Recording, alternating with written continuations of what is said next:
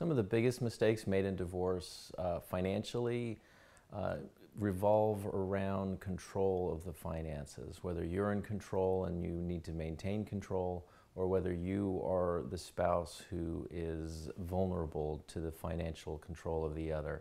Uh, it's important early on to make sure that uh, you're able to meet all your financial needs um, moving forward.